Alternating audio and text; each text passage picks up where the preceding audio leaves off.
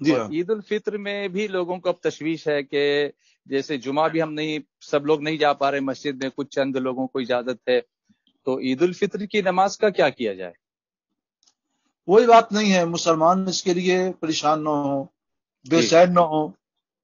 ईद उल फित्र की नमाज़ भी उसी तौर पे अदा करें जिस तौर पर जुमा की नमाजें अब तक वो अदा करते रहे हैं। अलबत्ता यहाँ मतलब ये कि जितने लोगों को इजाज़त है वो मस्जिद में जा करके जुमे की नमाज़ पढ़ लेते हैं बाकी लोग घर पे जोहर पढ़ते हैं। यहाँ पर ये होगा कि मस्जिद में उतने लोग जा करके ईद की नमाज़ पढ़ लें और बाकी लोग अपने अपने घरों में चार रकात नफल अदा। करें। चार रकात नफल ये मुस्ताहब है और इसकी बड़ी फजीलत आई है। और चाहे तो वही रकात नफल पढ़ लें। हदीस पाक में सुनन इब्न माजा की हदीस है कि रसूलुल्लाह सल्लल्लाहु अलैहि वसल्लम ईदगाह से जब घर में तशरीफ़ लाते तो दो रकात नमाज़ पढ़ते। तो सरकार सलाम के इस तरीके पर अमल की नीयत से हम अगर अपने घर में नमाज़ ईद के बाद दो रकात नमाज़ शुक्राने की नीयत भी हो और सरकार की नमाज़ की अदायगी की भी नीयत हो तो हमें नमाज़ का भी स्वाब मिलेगा और शुक्राने का भी स्वाब मिलेगा। असल जो दो रकात नमाज़ ईदगाह में पढ़ी जाती है वो शुक्राने की नमाज़ होती है। तो हम दो रकात शुक्राने की नमाज़ अपने घर में इस तौर पर भी पढ़ सकते हैं कि।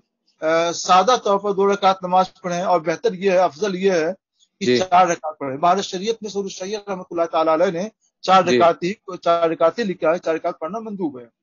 तो इसकी फजीलत मिलेगी। अलबत्ता ईद की नमाज़ में छह ज़्यादा तकबीरें कही जाती है। हर रकात में अल्लाह अकबर अल्लाह अकबर अल्लाह अकबर अल्लाह अकबर।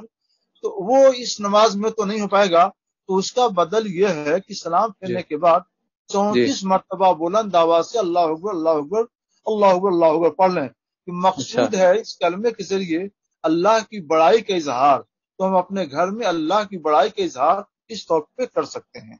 वली यहाँ पर तुकब्बिरुल्लाह अला मा हदाकुम पर अमल हो जाए। जी।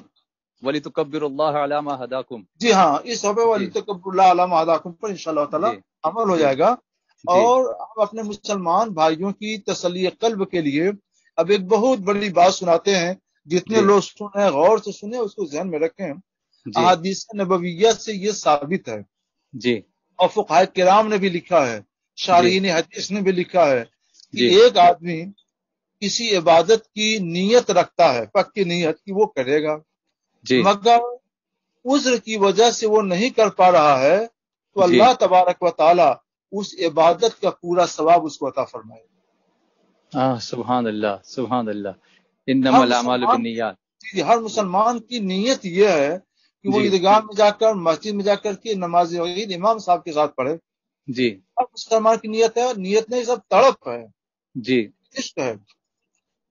लेकिन उज्र की वजह से लॉकडाउन को उज्र है एक सौ दफ़ा। एक सौ चौवालीस का उज्र है कोरोना वायरस का उज्र है इस वजह से नहीं जा पा रहा है। जी। तो अगर सिर्फ़ न जाकर सिर्फ़ घर में ही रहे और हसरत करे तो उसको नमाज़ ईद की जमात का पूरा पूरा सवाब घर बैठे बैठे मिलेगा। जी जी जी। और अगर उसके साथ चार रकात और पढ़ ले या दो। रकात और पढ़ ले और उसके और सलाम फेरने के बाद चौंतीस बार अल्लाह अल्लाह पढ़ ले तो सुबहान अल्लाह ये तो अजर बालाए अजर उसको मिल जाएगा सवाब बालाए सवाब उसको मिल जाएगा। चौंतीस मरतबा हाँ? जी। चौंतीस मरतबा जी हाँ चौंतीस अच्छा। तो हज़रत ये बहुत दिल तड़प रहा है लोगों का ये पूछ रहे हैं कि क्या ये नमाज़ जो आप दो रकात या चार रकात फरमा रहे हैं इसकी हम जमात कर लें घर में? अ, हाँ अगर जमात अहले खाना में कोई इमामत के लायक है तो घर के लोग उसके पीछे नमाज़ पढ़ सकते हैं मगर भीड़ न लगाएँ ज़्यादा लोग इकट्ठा ना हो। और अच्छा। अल्लाह को ये नमाज़ तना तना महबूब है।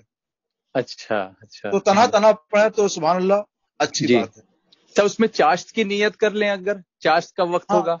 चाश्त की नियत कर सकते हैं चाश्त का वक्त होता है। और मैं ये समझता हूँ सदुल शरिया रहमतुल्लाह ताला ने जो लिखा है कि चार रकात मुस्तहब है तो उसकी वजह मैं ये समझता हूँ कि यही होगी कि ये ताश का वक्त है और ताश के वक्त में पढ़ेंगे तो चार रकात नमाज़ ताश की हदीस में बड़ी फजीलतें आई हैं। हाँ, लिहाजा हाँ। चार रकात मंदूब होगी मुस्तहब होगी। अच्छा अच्छा।